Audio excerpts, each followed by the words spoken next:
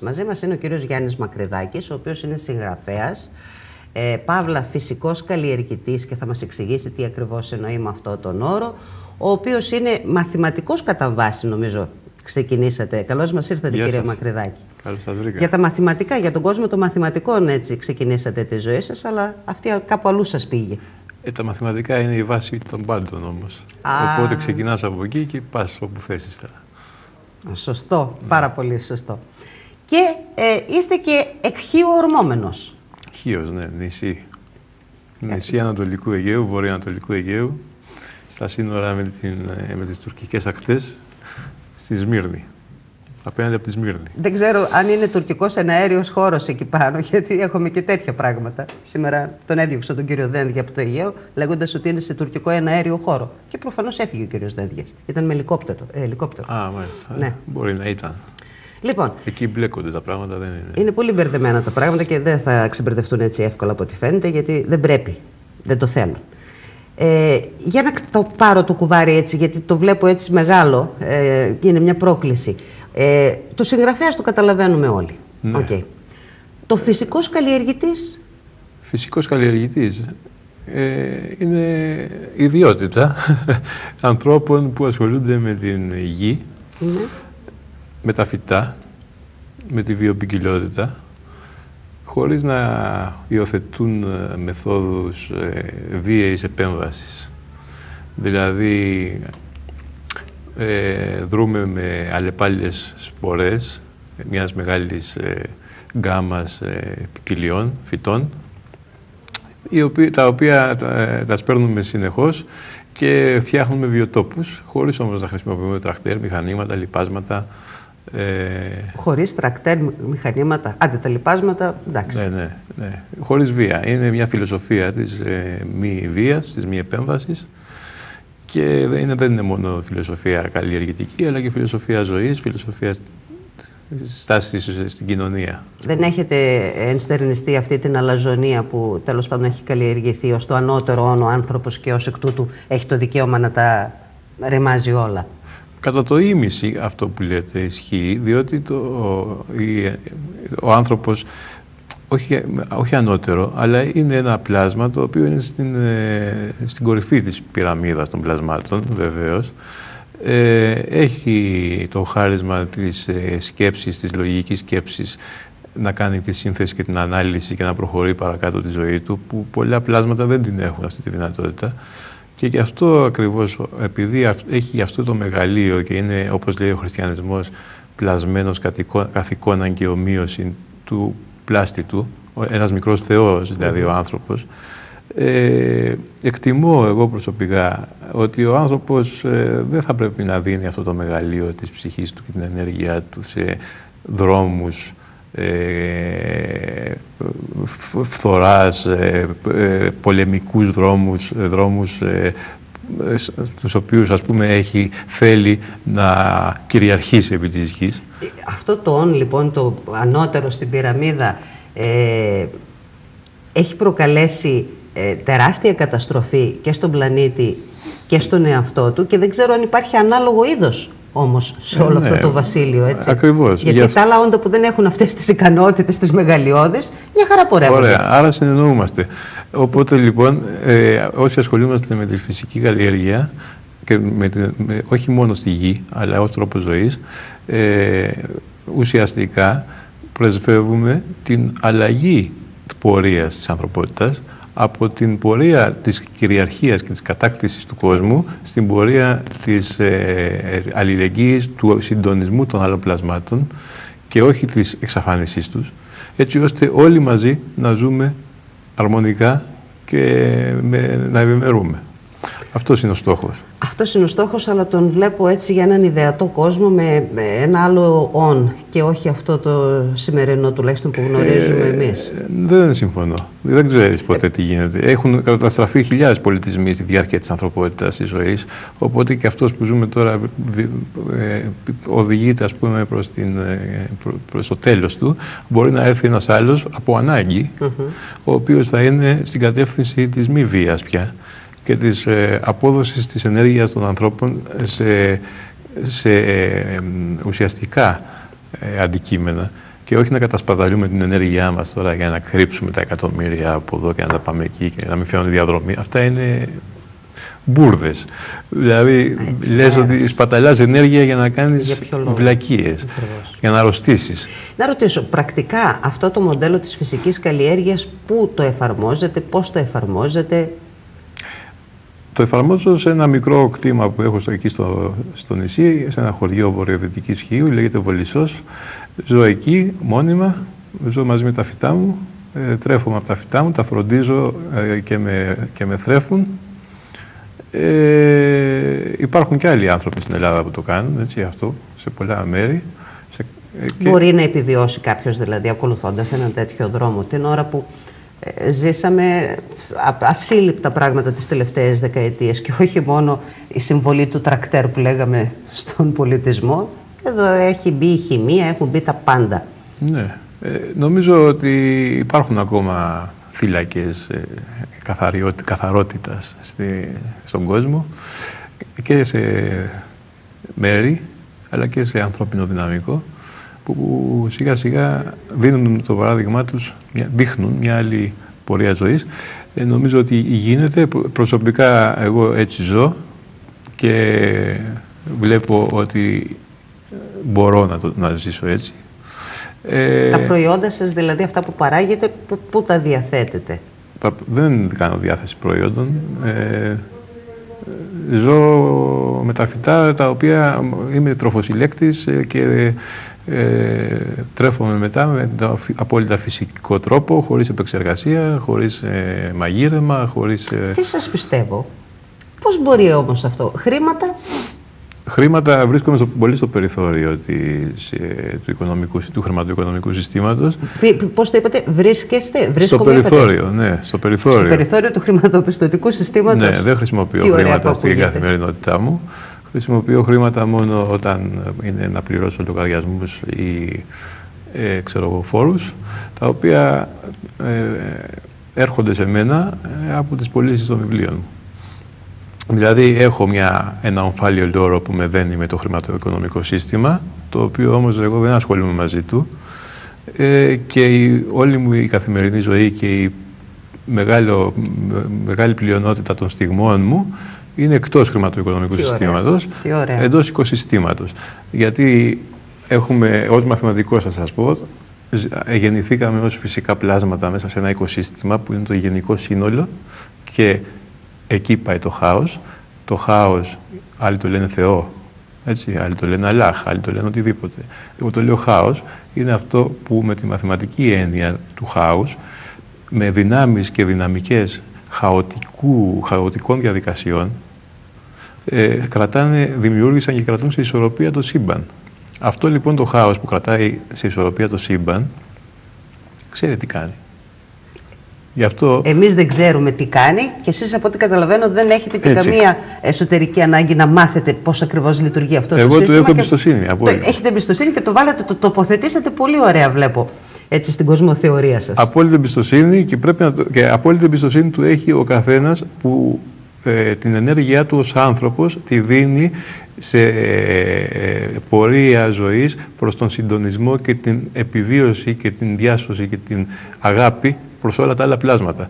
Όποιος την ενέργειά του τη δίνει στην αντίθετη πορεία του ανταγωνισμού, του καταναλωτισμού, του, του, του, του αυτό που ζούμε, ούτε εμπιστοσύνη στο χάος μπορεί να έχει, αλλά θα είναι και από τα θύματα του χάους από τα πρώτα θύματα του Και ήδη είμαστε και σε, στο κατάλληλο timing, νομίζω, έτσι. Γιατί μια τέτοια κουβέντα προφανώς προ-κρίση δεν θα μπορούσε να την αντιληφθεί κανείς, γιατί ζούσαν στην ευδαιμονία οι περισσότεροι άνθρωποι, και όχι μόνο στην Ελλάδα, ε, γενικά στον ε, ναι, δυτικό κόσμο. Έτσι. Ε, με τον τρόπο που οριζόταν η ευδαιμονία τότε, έτσι. Να αλλάζω αυτοκίνητο κάθε δύο μήνες, ε, να χτίζω όσο γίνεται μεγαλύτερο σπίτι, ε, να χωρέσει τι άραγε. Τέλος πάντων, αυτό ήταν το μοντέλο. Ναι, και εκείνο το μεγάλο μας λάθος ως κοινωνίες, ως κοινωνία δυτική, καταναλωτική, ότι έχουμε ορίσει λάθος τον ορισμό του πλούτου. Όλους τους ορισμούς έχουμε ορίσει λάθος, αλλά ο πλούτος κυρίως είναι πολύ λάθος. Έχουμε ορίσει ως πλούτο τα κουπόνια, αυτά που μετράνε τον πλούτο. Δηλαδή, το χρήμα που δεν είναι τίποτα άλλο από κουπόνια τα οποία μετρούν τον πραγματικό πλούτο, που ο πραγματικός πλούτος ποιος είναι, η φυσική πόρη. Έχουμε μια χώρα η οποία είναι πάμπλουτη σε φυσικούς πόρους και λέμε ότι είμαστε φτωχοί, τους ξεπουλούμε έτσι, για να πάρουμε λεφτά.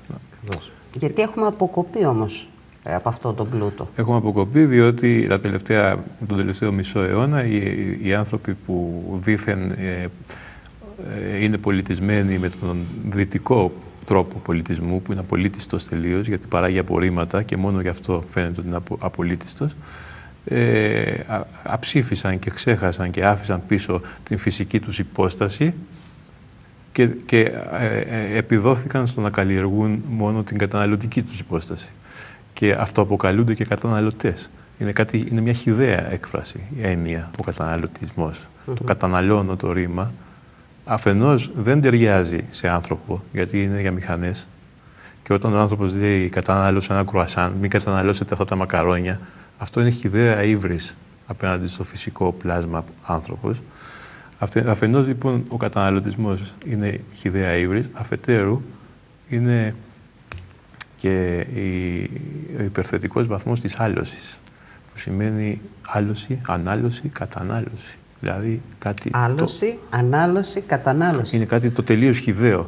Φτάσαμε στο σημείο να καταναλώνουμε τον πλανήτη και τη φύση και το οικοσύστημα που μας γέννησε. Καταναλώνουμε δηλαδή τον ίδιο τον εαυτό μας. Γι' αυτό δεν μπορούμε να ερωτευτούμε. Καταναλώνουμε τον άλλον. Δεν μπορούμε να φάμε και να πιούμε τρόφιμα, τροφές, αλλά καταναλώνουμε τρόφιμα τα οποία μας οδηγούν στο να γινόμαστε οι ίδια απορρίμματα ψυχικά, πνευματικά και σωματικά, εξαρτημένα από τα χημικά χάπια των φαρμακοβιομηχανιών. Υπάρχει λοιπόν όλο αυτό, το οποίο είναι ένας δίθεν πολιτισμός, δυτικός, και υπάρχει και ο πολιτισμός του οικοσυστήματος, ο οποίος είναι η άλλη ζωή. Ε, είναι η ζωή με τη σοφία, την οποία την έχουμε χάσει προπολού. Και αυτό ήθελα να ρωτήσω. Η στροφή πότε κατά την άποψή σας έγινε; Γιατί φαίνεται, δείχνει πια να είναι το DNA μας ε, έτσι καταναλωτικό. Πού ο άνθρωπος έχασε, πότε έχασε ε, τη διαδρομή; Ή μήπως ήταν λάθος πλασμένος από την αρχή; Ε, αυτό θα φανεί. Αν ήταν στο χειροκρότημα. Θα φανεί στο τέλος πώς θα γίνει. Ε, εντάξει, η στροφή σιγά σιγά γίνεται στις ιστορικές περιόδους της ανθρωπότητας. Ε, ξεκίνησε από πολύ παλιά το λάθος, από τη λάθος αντιμετώπιση των άλλων πλασμάτων, την επίθεσή μας απέναντι σε αυτά, απέναντί τους. Από εκεί ξεκίνησε το λάθος και ήρθε, ήρθε, ήρθε, ήρθε και με διάφορες μετά συγκυρίες ιστορικο-κοινωνικο τέτοιες, οικονομικές, το φτάσαμε στην ανώτερη μορφή του τα τελευταία 40 χρόνια με μεγάλη, με ραγδαία επιδείνωση τα τελευταία 20 χρόνια ε, και τώρα βρισκόμαστε πια στην κορυφή του πύργου της Βαβέλ. Γι' αυτό δεν μπορούμε να συνεννοηθούμε και μεταξύ μας πια, έτσι. Μιλάμε και λέμε την ίδια γλώσσα, λέει μιλάμε, αλλά δεν καταλαβαίνόμαστε. Είμαστε σε μια τέτοια φάση αυτή τη στιγμή που βρισκόμαστε λίγο πριν την κατάρρευση. Ε, την οποία, αν έτσι καταλαβαίνω καλά, ε, τη βλέπετε να έχει και κάποια στοιχεία λύτρωσης αυτή η κατάρρευση; Γιατί ούτως ή άλλως αυτή η πορεία δεν, δεν μπορούσε να οδηγήσει κάπου θετικά. Ναι, η πορεία αυτή είναι αδιέξοδη. Ε, δυστυχώς ε, τα παιδιά και τα εγγόνια μας θα ζουν σε ένα πλανήτη γεμάτο από τα απορρίμματα τα δικά μας. Θα, θα φτύνουν στους τάφους και μας. Και δεν το συνειδητοποιεί ε, πλην ελαχίστων ουδής, έτσι. Βέβαια. Θυμάστε όταν, έπεσε εκείνο, όταν χάθηκε εκείνο το Boeing πρόσφατα, που το ψάχνουν ακόμα, ναι. που λένε ότι υπάρχουν τόσες χιλιάδες ε, απορρίμματα που κολυμπούν στους ωκεανούς που δεν μπορούν οι δορυφόροι να δουν αν είναι το Boeing. Καταλαβαίνετε τι συμβαίνει. Αυτά όλα τα παρήγαγε ο δυτικός πολιτισμός. Εμείς δηλαδή. Ε, είναι, είναι πολύ προβληματική όμως η, η ιστορία, κύριε Μακρεδάκη, γιατί ε, ουδής ενδιαφέρεται και γι' αυτό που αναφέρατε εσείς, που είναι τρομακτικό. Κανείς πέρα από το σπίτι του και από την αυλή του δεν νοιάζεται τι συμβαίνει. Θα σου πω χαρακτηριστικά. Βρίσκομαι στην περιοχή 22, 20, 23 χρόνια τώρα εδώ. Ε, προέκυψαν πολύ σοβαρά περιβαλλοντικά ζητήματα και προκύπτουν πολύ συχνά. Οι μόνοι που διαμαρτύρονται κάθε φορά είναι αυτοί που βρίσκονται μπροστά στην πηγή της ρήπανσης και έχουν την εικόνα, έχουν την οσμή, έχουν ε, αυτή την άμεση επαφή. Η υπόλοιπη κοινωνία που είναι το έχει μακριά το πρόβλημα αδιαφορεί. Ώστε αυτά τα απορρίμματα να μείνουν εκεί και να εξαφανιστούν, να εξαϊλωθούν από εκεί. Δεν καταλαβαίνουμε, δεν το έχουμε αυτό, δεν ξέρω για ποιο λόγο. Ότι όλα αυτά σε εμά καταλήγουν. Με τον έναν ή τον άλλο τρόπο. Είτε ζούμε εδώ, είτε ζούμε παραπέρα. Δεν την έχουμε αυτή την αίσθηση. Αν την είχαμε, θα ήταν τα πράγματα πολύ διαφορετικά. Καταρχήν, δεν θα γινόμασταν συνεργοί στην παραγωγή απορριμμάτων. Δεν θα, όταν πηγαίνεις στο σούπερ μάρκετ και αγοράζεις κουτάκια, σακουλάκια, πακετάκια, μπουκαλάκια και γυρνάς στο σπίτι σου με ένα κάρο σκουπίδια τα οποία το εσωτερικό θα το ρίξεις μέσα σου και το εξωτερικό θα το ρίξεις γύρω σου γίνεσαι αυθομάτως εσύ ένα απόρριμα και δημιουργείς εκατοντάδες άλλα απορρίμματα. Τέλος. Αυτό είναι μια απολύτιστη πρωτόγονη κατάσταση. Δεν είναι διατροφή αυτό το πράγμα, δεν είναι ζωή αυτό το πράγμα. Ε, έτσι, από εκεί ξεκινάνε όλα. Μπορείς να αλλάξεις την καθημερινή σου διαβίωση. Μπορείς να συνειδητοποιήσεις ότι η κάθε μικρή καθημερινή σου κίνηση έχει αντίκτυπο εκτός από την τσέπη σου και στους φυσικούς πόρους. Ότι καταναλώνεις, εδώ πάει το καταναλώνεις, ενέργεια, φυσική, φυσικούς πόρους για να ζήσεις, την οποία ενέργεια δεν την αναπληρώνεις ούτε στο ελάχιστο, και ούτε καν σκέφτεσαι ότι πρέπει να την αναπληρώσεις. Εκεί έχουμε φτάσει πια. Ούτε καν το σκεφτόμαστε. Και να το κάνω έτσι σε μια απλή μετάφραση, να το φέρω κοντά στους uh, τηλεθεατές μας, γιατί είναι πράγματα καθημερινά. Ε, καθημερινά όλοι συζητάμε για τους uh, καρκίνους που έχουμε στο περιβάλλον μας. Για το συγγενή μας, για το φίλο μας και όλοι αναρωτιόμαστε γιατί βρε παιδί μου τέτοια ραγδαία αύξηση κλπ. Ένα είναι αυτό ε, εξηγώ αυτό που είπατε ότι ε, κάνουμε απορρίμματα και τον εαυτό μας, ρίχνουμε το εσωτερικό σε εμά και το εξωτερικό στο περιβάλλον. Για το δε περιβάλλον, αν ποτέ συνειδητοποιήσουμε ε, ως μονάδες και ως ε, σύνολο ότι εκτός από τον εαυτό μας που καταστρέφουμε, καταστρέφουμε και το μέλλον των παιδιών μας, ε, νομίζω δεν θα ξέρουμε πού να πάμε να κρυφτούμε. Κάπως έτσι το βλέπω θα το σκηνικό. Θα συνειδητοποιήσουμε την υποκρισία μας. Τότε. Υποκρισία είναι, ανοησία είναι, δεν, δεν ξέρω. Όλα μαζί. Αδυναμία είναι να συνειδητοποιήσουμε, δεν ξέρω τι είναι. Να ρωτήσω όμως κάτι. Ε, εγώ τουλάχιστον κατανοώ απόλυτα αυτό που λέτε για τις τροφές που ε, χρησιμοποιούμε πλέον και μπαίνοντας στο σούπερ μάρκετ, η εικόνα μας ποια είναι, η αντίληψή μας ποια είναι, κανένας δεν λογαριάζει τι σακουλάκια και τι αυτά. Ξέρουμε ότι πολλά από αυτά ε, είναι καρκινογόνα. Έτσι, μια εικόνα, όποιος φοράει τα γυαλάκια του έτσι και έχει λίγο χρόνο να κοιτάξει και πίσω την ετικέτα, ε, κάτι υποψιάζεται γι' αυτό. Μπορεί όμως αυτός ο τρόπος καλλιέργειας της γης ε, να, να θρέψει αυτό τον πλανήτη; Ο πλανήτης καταστρέφεται ραγδαία και καταστρέφεται από την ε, ε, εντατική γεωργία. Ο, κάμπος, το, ο Θεσσαλικός κάμπος, όπως ερχόμουν και τον έβλεπα, ε, είναι ένα στάδιο πριν την ερημοποίηση αυτή τη στιγμή. Α, προχθές έδειχνε, είχαν απεργία εσείς δημοσιογράφοι και έδειχνε ένα κανάλι που σε πρωινό, πρωινή εκπομπή, ένα ντοκιμαντέρ, για το πώς έγινε έρημος η Βόρεια Κίνα μέσα σε 20 μόλις χρόνια. Και είναι μια έρημος Σαχάρα σε περιοχές που ήταν πρώην καλλιεργήσιμες εκτάσεις με πολλά νερά. Και όλο αυτό έγινε από την εντατική γεωργία. Σε 20 χρόνια. Σε 20 μόλις χρόνια. Και με συναντεύξεις από ανθρώπους, κατοίκους της περιοχής που δεν το πιστεύουν, οι αμοθίελες να τους χτυπούν. Και αυτή η έρημος έχει φτάσει 70 χιλιόμετρα έξω από το Πεκίνο αυτή τη στιγμή. Και προχωρεί. Έτσι ακριβώς βρισκόμαστε ως ανθρωπότητα στο σημείο να καταστρέφουμε την έφορη γη με τα μηχανήματα, με τα λοιπάσματα, με την εντατική καλλιέργεια και, ο, και η μόνη, ε, το μόνο αντίδοτο σε αυτή, για να γίνει η ανάστροφη πορεία είναι η φυσική καλλιέργεια. Να αφήσει τη γη μόνη της, στην ησυχία της, με μοναδική επέμβαση δική σου την σπορά πολλών μεγάλης ποικιλία σπόρων, να κάνεις μικρά οικοσυστήματα γύρω-γύρω με μεγάλη βιοπικιλότητα και να ελέγχεις στην αρχή τουλάχιστον τους πληθυσμούς των αγρίων ζυζανίων με τρόπους ήπιους. Μόνο όταν η γη αρχίσει και γίνεται, είναι δαφοκαλυμμένη, δεν τη βλέπει ο ήλιος, δεν τη φέρνει ο αέρας, έχει συνεχώς φυτά που αναπαράγονται και δεν τις φερόμαστε με βία, μόνο τότε θα ξανακλείσει τις πληγές της. Αυτή τη στιγμή βρισκόμαστε σε μια φάση την οποία θα την πληρώσει ο, η ανθρωπότητα πολύ σύντομα με μια τεράστια επιστημιστική κρίση. Η οποία είναι πρώτον πυλών. Και επίσης ουδή μπορεί να το συνειδητοποιήσει αυτό το πράγμα. Παρότι όσοι ασχολούνται πραγματικά έτσι και συνολικά έχουν την εικόνα, ε, το λένε εδώ και πολύ καιρό. ότι οδηγούμαστε σε επισητιστική κρίση. Η οικονομική κρίση δηλαδή δεν είναι τίποτα Ναι. μπροστά σε αυτό που περιμένουμε να Ναι. έρθει. Ε, από την άλλη όμως υπάρχει μια πάρα πολύ δυνατή προπαγάνδα και διαρκής προπαγάνδα. Ε, δε- και δεν θα αναφερθώ στο παράδειγμα της Ινδίας που τους έβαλαν ε, στο χώρο των μεταλλαγμένων υποτίθεται για να αντιμετωπίσουν την πείνα. Και τέλος πάντων τουλάχιστον τα μηνύματα που έχουμε είναι τα ακριβώς αντίθετα. Με τους αγρότες πλέον στην Ινδία να αυτοκτονούν από το πολύ φαγητό που τους έφεραν τα μεταλλαγμένα. Βλέπετε ότι και η πόρτα ε, της Ευρωπαϊκής Ένωσης ανοίγει σιγά σιγά στα μεταλλαγμένα και αυτό στο, στο τυπικό επίπεδο, διότι στο ουσιαστικό ουδής γνωρίζει τι ακριβώς ε, συμβαίνει. Ε, από την άλλη πλευρά όμως, έχουμε, είμαστε από ό,τι λένε τουλάχιστον, ε, πολύ ε, μεγαλύτερος ο πληθυσμός της γης από αυτόν που μπορεί να θρέψει.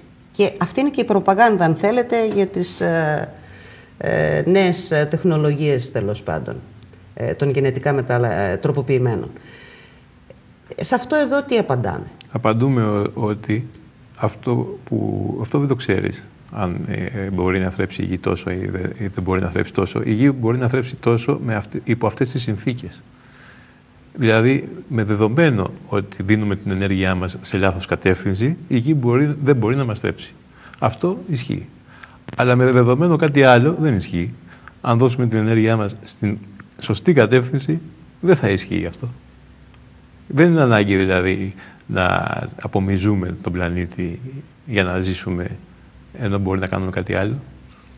Αν, αν, αν η, η γη αυτή τη στιγμή το 70% της ανθρωπότητας, 70% της ανθρωπότητας, το 53% της Κίνας, των κατοίκων της Κίνας, έτσι, είναι αστεί καταναλωτές. Δεν παράγουν τίποτα. Μόνο απομυζούν τη φύση για να ζήσουν, χωρίς να αναπληρώσουν το παραμικρό. Με αυτές τις συνθήκες λοιπόν, ο πλανήτης δεν μπορεί να μας τρέψει. Αλλά όταν κάνουμε ο καθένας από εμά που είμαστε το σύστημα, εμείς είμαστε, εμείς το εκπροσωπούμε, εμείς εκπροσωπούμε την ανθρωπότητα σήμερα. Αν ο καθένας από εμά δει το αδιέξοδο και κάνει ένα βηματάκι πιο εκεί, όχι πίσω, δεν είναι πίσω, μπροστά είναι. Και αρχίζει και ενδιαφέρεται για τους φυσικούς πόρους που χρειάζεται για να ζήσει, που, που, που καταναλώνει για να ζήσει και θέλει να τους αναπληρώσει κιόλας ένα έστω μέρος αυτών των φυσικών πόρων, τότε η γη θα μπορεί να μας τρέψει όλους και άλλους τόσους. Και εν πάση περιπτώσει ε, είναι και το άλλο. Ε, αν θέλει κανείς έτσι λίγο να ανοίξει το μυαλό του και να σκεφτεί και περισσότερα. Αυτά τα στοιχεία τώρα που μας δίνουν ότι δεν μπορεί η γη να θρέψει ε, αυτά τα δισεκατομμύρια των α, ανθρώπων, υπάρχει, οδηγούμαστε σε αδιέξοδο και άλλα, θα πρέπει να βάλουμε μπροστά την επιστήμη και την τεχνολογία για να προχωρήσουμε. Ε, δεν ξέρω πόσο ευσταθεί έτσι, αυτή η προσέγγιση, διότι αυτή την ώρα ε, ο μισός πλανήτης πεινάει και πεθαίνει από την πείνα και ο άλλος μισός πεθαίνει από την υπερκατανάλωση. Έτσι είναι, Και λάθος το μοντέλο. εσωτερικά και εξωτερικά. Έτσι, Λάθος και το λόγω μοντέλο. απορριμμάτων, αλλά και λόγω. Δεν είναι έτσι. Σωστό. Είναι λάθος το μοντέλο τελείως. Φαίνεται, είναι, λάθος το οφθαλμοφανές. Και για να, για να αλλάξει το μοντέλο πρέπει να αλλάξουμε εμείς. Γιατί πρώτα θα αλλάξουμε εμείς, ο καθένας προσωπικά, μετά θα πάει σε συλλογικό μικρό επίπεδο, μετά θα πάει σε πιο μεγάλο και μετά θα έρθουν τα πολιτικά κόμματα και οι πολιτικές οι πολιτικές που θα είναι αλλαγμένες. Τα κόμματα, οι πολιτικοί και οι πολιτικές ακολουθούν τις κοινωνίες. Έπονται από τις κοινωνίες. Πρώτα ε, διαμορφώνεται το κοινωνικό γίγνεσθε και μετά βγαίνουν οι εκπρόσωποι των ανθρώπων στις πολιτικές. Με, αυτούς, με αυτή την πολιτική, με αυτή τη- το γίγνεσθε που έχουμε τώρα, αυτοί οι πολιτικοί μας εκπροσωπούν και αυτές οι πολιτικές. Έτσι είναι ακριβώς. Πρώτα και, θα και γι' αυτό αλλάξουμε περιμένουμε εμείς. μεσίες. Έτσι. Και η ανθρωπότητα από ανάγκη αλλάζει. Τώρα, τουλάχιστον οι δυτικοί που έχουν φάει στη μάπα την βλακεία, την ανοησία της ε, λεγόμενης ανάπτυξης και του λεγόμενου πολιτισμού τους, Και το αμερικάνικο όνειρο. ναι, τα παιδιά και τα εγγόνια αυτών, οι νέες γενιές που έχουν βιώσει το αδιέξοδο και έχουν γεννηθεί μέσα σε αυτό, δείχνουν μια στροφή. Και από εκεί έρχεται η ελπίδα. Μακάρι να γίνουν έτσι τα πράγματα, τουλάχιστον οι νεότερες γενιές να μπορέσουν να ανοίξουν τέτοια μονοπάτια και Εξ να ανάγκης, διδαχθούν ξαναλέμε, από εξ τα ανάγκης. παθήματα ακριβώς των προηγούμενων. Οι αλλαγές στον άνθρωπο γίνονται εξ ανάγκης κυρίως στην, στην ανθρωπότητα. Δεν γίνονται επειδή... Γιατί ο άνθρωπος ψάχνει να βολευτεί, να ζήσει, να Ναι, επιβιώσει. ναι, ναι. Πάσχει, το πρότυπο πάσχει. Ναι. Δηλαδή και το καλούπι πρέπει να ήταν προβληματικό. Τόση ζημιά δεν δικαιολογείται. Και μάλιστα, ε, ειλικρινά εσείς που ασχολείστε και περισσότερο με αυτά τα πράγματα, ε, υπάρχει άλλο είδος στον πλανήτη που μέσα σε μισό αιώνα να έχει προκαλέσει τόσες καταστροφές, γιατί στην ουσία Όχι, δεν υπάρχει. η μεγάλη ζημιά έγινε μέσα σε μισό αιώνα, έτσι. Έχουμε εξαφανίσει το, το περισσότερα είδη πλασμάτων στη γη. Μα θυμάμαι, τώρα θα το αναφέρω αυτό το παράδειγμα, γιατί το έζησα ως παιδί. Ε, τα παλιά τα χρόνια στα χωριά υπήρχαν οι ντόπιες φυλές ζώων, οι ντόπιοι σπόροι, ε, οι κήποι, οι μπαξέδες που λέγαμε, οι ωραιότατοι, με αυτάρκεια το κάθε σπιτικό. Δηλαδή το πρόλαβα κι εγώ ακόμη αυτό το μοντέλο. Υπήρχαν σπίτια, τη γιαγιάς μου το σπίτι δεν χρειαζόταν τίποτα. Ε, τα είχε όλα. Και ορε- σε ορεινό χωριό κιόλας, έτσι. Ε, και θυμάμαι όμως όταν άρχισαν να έρχονται οι πρώτες Αμερικάνες αγελάδες, οι οποίες έδιναν πολλαπλάσιο γάλα από τις ε, ντόπιες εδώ. Και είχαν όλοι τρελαθεί. Πώς να πάρουν αυτές τις αγελάδες και πώς και πώς. Και έτσι έγινε η μεγάλη στροφή. Σε χρόνο τέτοια και δεν το κατάλαβε και κανένας. Μέσα. Ε; Στο- ναι, έτσι είναι. Και στο βιβλίο μου του Θεού το μάτι αυτό λέει ο ήρωας, ότι άμα είναι για κακό, όλοι αμέσως πάνε να, προς τα εκεί. Ε, μα το στο καλούπι. καλό... το καλούπι. ναι, στο Το καλούπι. Κάτι συμβαίνει με το καλούπι.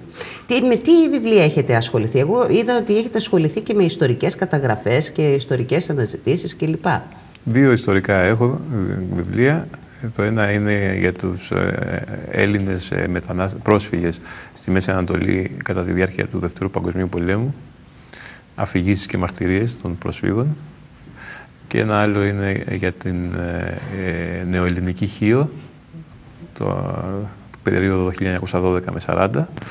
Και έχω και 7 λογοτεχνικά βιβλία, τα οποία είναι όλα εκδομένα στις εκδόσεις Εστία. Και ναι, από το, χιλια- από το 2007 μέχρι σήμερα και αν είμαι καλά και παρακάτω θα ασχολούμαι με, τα, με τη λογοτεχνία, μου αρέσει. Εσείς αυτή τη στροφή πότε την κάνατε στη ζωή σας; Ήταν το καλούπι ή ήταν τέλος πάντων μια επιλογή. Κάποια στιγμή. Ε, όλα μαζί είναι αυτά, δεν είναι, κάτι διαφο- δεν είναι το ένα ή το άλλο. Ε, εγώ από τα 27 μου, ό- όταν τελείωσα το μαθηματικό και είδα τι καλούμε να κάνω στην κοινωνία για να ζήσω, δεν μου άρεσε και είδα ότι ε, ίσως με βοήθησε και η μαθηματική η λογική και οι σπουδές ότι και, α, α, ε, κατάλαβα πολύ γρήγορα ότι αυτό το μοντέλο είναι αδιέξοδο γιατί όσα λεφτά και να σου δίνει δεν συμφέρει για να το, να το κάνεις. Τα λεφτά είναι δίνεις εσύ τη ζωή σου για να πάρεις λεφτά. Οπότε αποσύρθηκα από αυτό το μοντέλο και ξεκίνησα ε, μια άλλου είδους. Εσείς φύγατε νωρίς, Αναζήτηση. προλάβατε νωρίς. Δεν μπήκατε σε αυτό το τρένο που μπαίνουμε οι περισσότεροι. Ναι, αλλά όλα έχουν το τίμημά τους. Έτσι. Γιατί και όσο πιο πολύ ε, φεύγεις από το σύστημα και πηγαίνεις στην, στη ζωή, τη φυσική και όσο πιο πολύ εμβαθύνεις και όσο πιο πολύ ακούς τη γη και σε πηγαίνει και γίνεσαι ένα φυσικό πλάσμα, τόσο πιο πολύ ε, δυσκολεύει η επικοινωνία με τους ανθρώπους. Τόσο πιο πολύ συγχύζεσαι με, τα, με αυτά που συμβαίνουν γύρω σου. Ε, τόσο πιο πολύ απειλείσαι Απειλής από τι; Απειλείσαι από τον καταναλωτισμό τον άκρατο που έρχεται να φτιάξει μεγάλα φράγματα δίπλα σου, να στήσει βιομηχανικές ανεμογεννήτριες παραπάνω σου, να, για, να, για, να, για να πάρει όλο το νερό, για να πάρει όλο το ρεύμα, για να πάρει όλη την ενέργεια και να μην αφήσει τίποτα στα ζωάκια να ζήσουν, που είσαι και εσύ ένα ζωάκι. Όλα οι καταναλωτές θα θέλουν να είναι μέσα στο σπίτι τους να τα πάρουν και απειλούν τους βιοτόπους και στον Αμαζόνιο τους σηκώνουν και τους βγάζουν τους ηθαγενείς, του σηκωτούς από τα μέρη τους για να κάνουν ανάπτυξη. Μπράβο. Το ίδιο κάνουν και στις κουριές. Το ίδιο κάνουν σε κάθε μικρό μέρος Μπράβο, που βρίσκονται άνθρωποι.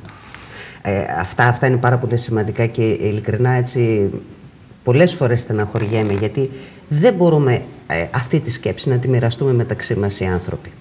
Δεν έχουν το κουράγιο. Ε, δεν είχαν, τώρα δεν έχουν το κουράγιο. Πριν προκρίσεις δεν είχαν τη διάθεση. Δηλαδή αυτά τα, α, οι περισσότεροι τα άκουγαν αλαμπουρνέζικα. Και τι με νοιάζει εμένα. Ήταν αυτό το γνωστό, όχι αδερφέ, και τι με νοιάζει εμένα. Ε, τώρα μετά την κρίση έχουν φάει τόσα χαστούκια και έχουν φορτωθεί τόσα βάρη οι άνθρω- ο μέσος άνθρωπος τέλος πάντων έτσι, ε, στους ώμους του που δεν έχει το κουράγιο. Ε, και γι' αυτό έτσι θα ήθελα πραγματικά να ρωτήσω. Αυτές τις απλές πληροφορίες, αυτά που λέτε εσείς, ε, γιατί σε αυτό το παιχνίδι που μπήκαμε τώρα, σε αυτό τον καινούριο δρόμο τέλος πάντων ως ε, Ελλαδίτσα και ως Ευρώπη, έχουν μπει πολλά άλλα μέρη του πλανήτη εδώ και πάρα πολλά χρόνια, πώς αναφερθήκατε και στον Αμαζόνιο. Δηλαδή, μέρη με πάρα πολύ μεγάλο πλούτο, ε, έχουν λαούς εξαθλειωμένους που στερούνται ακόμη και τα βασικά, ακόμη και το νερό. Ε, και τη, τη, βασική τροφή τέλος πάντων. Γιατί, γιατί πήγανε οι ισχυροί του πλανήτη, έστησαν εκεί τα μαγαζιά τους και εκμεταλλεύονται τους σπόρους. Αυτές οι πληροφορίες, για πείτε μου, γιατί δεν περνάνε στο μέσο Έλληνα τηλεθέτη; Ε, γιατί ε, το ξέρετε πολύ καλά, τηλεόραση κάνετε. Ποιο σας πληρώνει, Μα τα δείχνει η τηλεόραση. Μα τα δείχνει. Δεν είναι να πείτε ότι δεν τα δείχνει. Δείχνει Υπάρχουν. κάποια ντοκιμαντέρ. Υπάρχουν. Τα οποία ο καθένας που τα βλέπει νομίζει ότι δεν το αφορούν. Αυτό, αυτό γιατί το νομίζει. Αυτά τα νομίσματα γιατί κυριαρχούν. Εχθές σας είπα, είδα το ντοκιμαντέρ για τη Βόρεια Κίνα. Α, μπράβο. Το έδειχνε η ελληνική τηλεόραση εδώ. Σε μια μέρα. Και ήταν και σε ζώνη υψηλής τηλεθέασης, έτσι δεν είναι; Και δεν ξέρω τώρα. Και απορώ πραγματικά αν, το βλέπουν αυτοί οι άνθρωποι, ή κάποιοι άνθρωποι για ποιο λόγο δεν ε, ανησυχούν. Ε, όπως ε, έχω παρατηρήσει ότι, ότι λένε ε, το τάδε είδος ε, ζώου, πουλιού, φυτού εξαφανίστηκε, αφανίστηκε ή εξαφανίζεται. Είναι υποεξαφάνιση. Μα δεν είναι μόνο του. Δεν δεν, οι άνθρωποι έχουν, έχουν πια ε, τελείω, τελείως αποσυνδέσει τη, ζωή τους με το, με, με το φυσικό περιβάλλον και, την, ε, και, και με τις συνέπειες που προκαλούν. Αυτό είναι λογοτομημένοι λοιπόν ναι. οι καταναλωτές. Το στόμα μου το πήρατε ακριβώς. Άρα πρέπει πρώτα να δούμε, να, να, να απεκδηθούμε της καταναλωτικής μας υπόστασης. Να τη διώξουμε στην άκρη, να καταλάβουμε ότι είναι χιδαίο, χιδαία και υβρή και ότι μας κάνει πλάσματα ανάπηρα και να έρθουμε κοντά στη φυσική μας υπόσταση, να συνειδητοποιήσουμε ότι είμαστε άνθρωποι πλάσματα και πάνω στη φυσική μας υπόσταση είναι χτισμένη και η καταναλωτική και η ψηφιακή.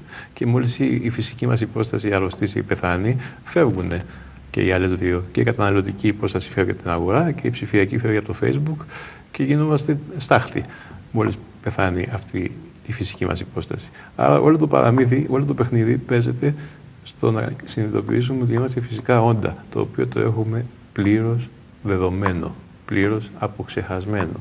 Και έχουμε παραδώσει τη ζωή μας, την ευθύνη μας, την ευθύνη της ζωής μας σε άλλους, τρίτους, απρόσωπους, το λεγόμενο σύστημα, το οποίο το ενσαρκώνουμε για να, για να ζει και, να, και, και εμείς ταυτοχρόνως αυτοκτονούμε. Εκεί είναι το θέμα. Λοιπόν, για να κατανοήσει ο κόσμος ότι όλα αυτά που δείχνει τηλεόραση στα ντοκιμαντέρ τον αφορούν, πρέπει να νιώσει φυσικό πλάσμα. Όσο νιώθει καταναλωτής ασφαλής στον καναπέ του με, το τηλεκοντρόλ στο χέρι, δεν νιώθει τον αφορούν. Οπότε αυτή η Αναμπουμπούλα ε, ελπίζετε ότι θα βγει σε καλό. Ε, είναι μια ευκαιρία, εν πάση περιπτώσει. Δεν, δεν, λέω καθόλου έτσι. Εγώ λέω ότι η ανθρωπότητα από ανάγκη αλλάζει και θα αλλάξει. Όταν βλέπεις ότι πριν τα 65 αρχίζουν και πεθαίνουν όλοι από καρκίνο, δεν πάει παρακάτω. Όταν βλέπεις ότι η ανθρωπότητα αρχίζει και κλαίει τα, τα παιδιά της γιατί έχουν πια ε, φτάσει στο σημείο οι νέοι να πεθαίνουν πριν τους, πριν τους γεροντότερους, δεν πάει παρακάτω. Αλλάζει το πράγμα μοιραία και ίσως και άβουλα των ανθρώπων.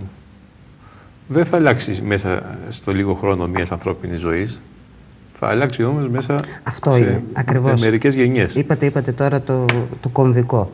Ε, γι' αυτό και δεν υπάρχει ε, αυτή η συνειδητοποίηση, αυτή τέλος πάντων η στάση που θα περίμενε κάποιος ε, με την κοινή λογική. Ε, γιατί δεν αφορά το εδώ και τώρα. Ναι. Και ο άνθρωπος επειδή είναι πολύ πεπερασμένο δεν μπορεί καν στην ουσία να νοιαστεί για τη ζωή των παιδιών του. Ακριβώς. Έτσι. Και εκεί δημιουργείται το πρόβλημα.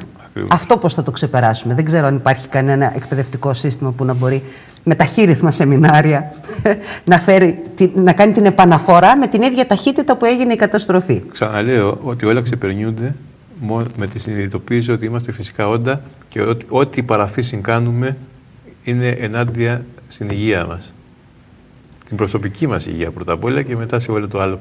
Το χρήμα πώς θα μπορούσαμε να το βγάλουμε από την ε, ζωή μας; Το χρήμα δεν χρειάζεται να το βγάλουμε από τη ζωή μας. Το χρήμα είναι μια ευφιέστατη σύλληψη του ανθρώπου για να πραγματοποιεί τι συναλλαγές του. Αν δεν είχαμε το χρήμα, θα ήμουν αναγκασμένος εγώ να κουβαλάω τα βιβλία μου σε σένα να μου, που θα μου κάνεις, θα, θα μου βάψει το σπίτι. Θα, ήταν ένα χάος η κατάσταση με την κακή έννοια του χάους. Το χρήμα είναι ευφιέστατη σύλληψη. Το χρήμα όμως, αυτό που πρέπει να κάνουμε είναι να συνειδητοποιήσουμε, το ξαναείπα, ότι το χρήμα δεν είναι πλούτος. Το χρήμα είναι κουπόνια, τα οποία μετρούν τον πλούτο. Ο πλούτος είναι η, η, η παραγωγή μας και η φυσική πόρη. Μόνο αυτό είναι ο πλούτος και να σκέφτεται μάλλον ο καθένας ως μονάδα τι ακριβώς παράγει. Και τι ακριβώς. Ε, τι δίνει και τι παίρνει. Τι δίνει και τι παίρνει. Εισρωέ, εκροές. Εισρωέ, εκροές. Αυτό είναι. Λοιπόν, να πω ότι ε, ο Γιάννης ο Μακρυδάκης θα είναι σήμερα ε, στις Κυρίθρες και να δώσω και συγχαρητήρια στον ε, Κώστα τον Κοτρώνη, ο οποίος δουλεύει πάρα πολύ έτσι φιλότιμα και μάλιστα σε αυτές τις δύσκολες εποχές και φέρνει πολύ ενδιαφέροντες ανθρώπους. Κάθε τρεις και πέντε διοργανώνει ε, συγκεντρώσεις στο βιβλιοπωλείο του, ε, είτε με την αφορμή ε, παρουσίασης κάποιου βιβλίου, είτε έτσι για να συζητήσουν κάποιο θέμα. Ε, γι' αυτό βρίσκεται στα Τρίκαλα και ο Γιάννης ο Μακρεδάκης, ο οποίος είπαμε κατοικοεδρεύει στοιχείο. Μάλιστα. Και φαντάζομαι όμως ε, περιπλανείστε γενικώς, έτσι, κυκλοφορείτε ανά τη χώρα. Ε, κυκλοφορώ σε ε, περιόδους ε, που υπάρχουν τέτοιου είδους εκδηλώσεις και προσπαθώ να τις ε, γκρουπάρω, ας πούμε, κάπως, να κάνω ένα ταξίδι, να πηγαίνω σε 5-6 μέρη και να... Υπάρχει έτσι ένα τέτοιο, ε, πώς να το πω, αισιόδοξο κίνημα. Είπατε ότι υπάρχουν και άλλοι φυσικοί καλλιεργητές σαν και εσάς και άνθρωποι που έχουν αυτή την αντίληψη. Ναι. Και άλλοι λίγοι; Υπάρχουν ε, και άλλοι, πάρα πολλοί άνθρωποι... σαν πυρήνες που μπορούν να λειτουργήσουν έτσι, κάτι να. Έχω δει ότι τα τελευταία πέντε χρόνια έχει γίνει μια εξαιρετικά ενδιαφέρουσα επανάσταση στην ελληνική κοινωνία. Έχω δει ότι αυτό που λέμε ότι ο Έλληνας κάθεται στον καναπέ και περιμένει είναι μούφα, ουσιαστικά είναι ψέμα, είναι ψευδές. Κάθονται και περιμένουν μόνο αυτοί που νιώθουν νεκροί. Ε, η ελληνική κοινωνία έχει αλλάξει άρδιν. Ε, και αυτό που μιλάμε και λέμε αυτά που λέμε τώρα στην τηλεόραση, ενώ δεν θα τα λέγαμε πριν από πέντε χρόνια. Ε, θα τα λέγαμε, αλλά εμείς θα τα ακούγαμε. Δεν θα τα λέγαμε καθόλου, γιατί δεν θα υπήρχε ακροατήριο. Ενώ τώρα υπάρχει ακροατήριο ε, και υπάρχουν και άνθρωποι που όχι μόνο είναι ακροατήριο, είναι και άνθρωποι που έχουν αλλάξει στάση ζωής. Και σε αυτά τα πέντε χρόνια έχει ένα τρομερό ποσοστό της ελληνικής κοινωνίας αλλάξει στάση ζωής ε, και σε πολύ σύντομο χρονικό διάστημα αυτό το ποσοστό νομίζω ότι θα έχει καταφέρει να γίνει ένα μεγάλο κίνημα που θα έχει και πολιτική έκφραση. Και νομίζω και μια πολύ καλή μαγιά είναι και οι νέοι άνθρωποι οι οποίοι είναι άνεργοι.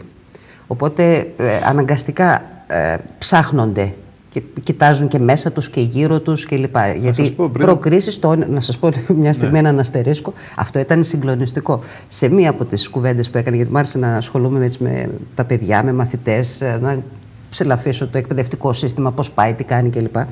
Ε, και σε μια εκπομπή ήταν καταπληκτικό το ότι τα περισσότερα παιδιά που ήταν εδώ είπαν όταν τους ρωτήσαν τι θέλετε να. Ένα εύκολο επάγγελμα, ξεκούραστο και να βγω γρήγορα στη σύνταξη. Ναι, ναι, ναι τα θυμάμαι πολύ καλά αυτά. Αυτό ήταν.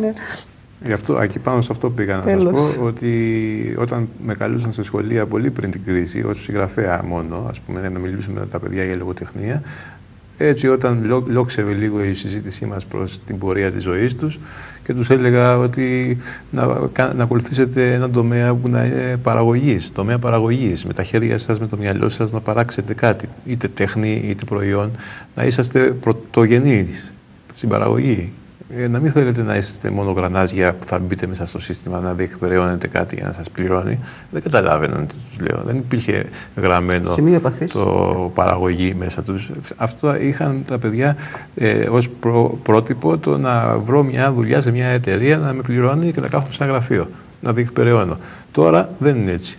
Τώρα τα παιδιά ε, ήδη έχουν σταθεί στην παραγωγή με πολλούς τρόπους. Ναι με πάρα πολλούς τρόπους. Άρα υπάρχει ελπίδα. Υπάρχει ελπίδα και υπάρχει και μεγάλη αλλαγή που πρέπει να τη δούμε και να μην βλέπουμε μόνο τα, τα μαύρα και τα άσχημα. Ε, πώς τυχαίνει, ειδικά τις τελευταίες εβδομάδες, μέσα σε όλη αυτή τη μαυρίλα που τέλος πάντων διαχειριζόμαστε και ως εκπομπή, ε, να ανταμώνουμε ανθρώπους που ε, πραγματικά θα καταγραφούν όταν με το καλό τέλος πάντων κάπως θα κλείσει αυτός ο κύκλος, θα καταγραφούν σαν τα μεγάλα ωφέλη της κρίσης. Δηλαδή, ε, νέοι άνθρωποι που άλλαξαν εντελώς ματιά.